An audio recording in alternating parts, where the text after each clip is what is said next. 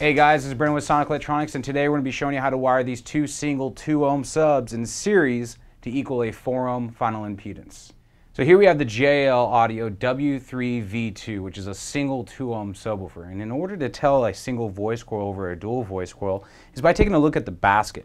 We only see one set of terminals, a positive and a negative. If we look at the other side of the basket we don't have another set of terminals.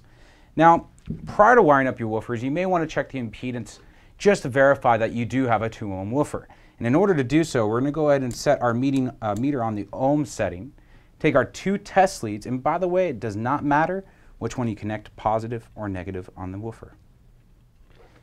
Now, one point, we want to make sure that the woofer is facing up towards the sky on a flat level surface because if I breathe on it or touch it, it's going to cause the impedance to fluctuate and we're going to get an improper reading, which we don't want.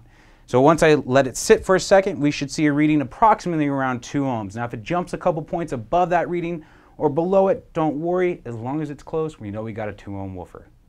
Alright guys, so in order to wire these two single 2 ohm subs in series, we need a jumper wire in order to do so, which will raise the impedance of the woofers together. Now, we got our jumper here, just a piece of speaker wire, and what we're going to do is basically take a negative terminal from the first woofer and attach that to our jumper wire.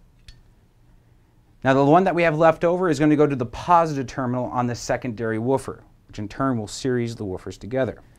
Now we have a jumper wire left over. Now this is going to join the last coils that we have left on the woofers, which is one negative and one positive. Once we attach that, the remaining wires are going to go to the box terminal on the inside of the enclosure, from the box terminal to the outputs of your monoblock or two-channel amplifier. Now we're going to go ahead and take negative, attach that to the last negative terminal on the woofers, and take our last positive and attach that to the positive terminal on the secondary woofer. So in order to check your woofer's final impedance after wiring them in series, we're going to go ahead and go back to our meter, set it on the ohm setting, take our two test leads and the wires that are left over going to your box terminal and attach them to the test leads.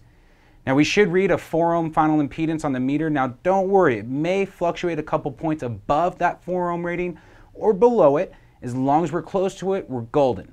Now, once again, this is how we wire two single 2 ohm subs in series to equal a 4 ohm final load. This is Brendan with Sonic Electronix, your source for everything car audio.